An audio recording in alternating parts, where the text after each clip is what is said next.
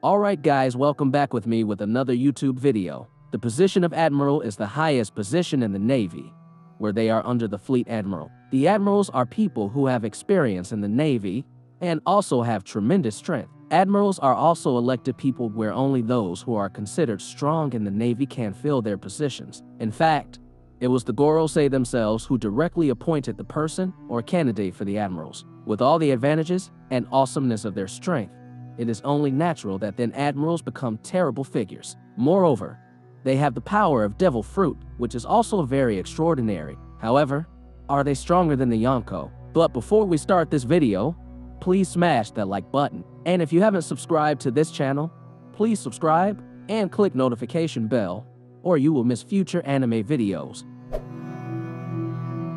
Although some fans think so, in reality the Yonko have a superior status compared to the admirals. This is also the reason why they are called the Four Emperors. There is some evidence of how the Yonko are much stronger than the admirals. First, the words from Garp when they were about to capture Rayleigh. At that time, the Navy received an emergency call after Luffy beat one of the Celestial Dragons. As a result, the Navy sent their troops. However, at the same time, they learned that there is a big fugitive in Sabaody, namely Silvers Rayleigh. When the Navy tried to capture Rayleigh, Garp gave a warning. According to Garp, the government will not be able to face two legends at the same time because the risk of defeat and losing their troops can be very large. Rayleigh is not part of the Yonko, but his strength is considered equal or almost on par with the Yonko. Second, Sengoku once said, that they would never be able to defeat Whitebeard and his army with military force. The Navy admitted that they needed better tactics as well as a surprise attack to defeat Whitebeard.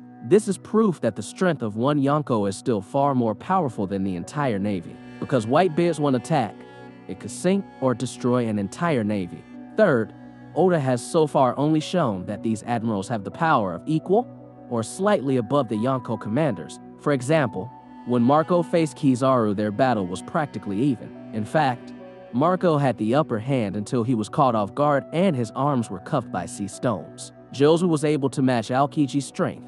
Until then, he was also caught off guard. Sabo was able to match Fujitora's strength. In fact, what's interesting is that Doflamingo, who incidentally is a Shichibukai, had no trouble attacking Fujitora. Doffy could have killed Fujitora. You can't imagine what a Fujitora had to deal with Kaido.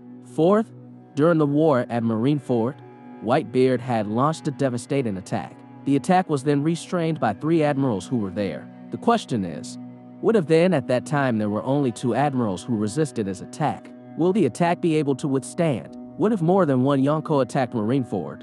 Would they be able to withstand the attack?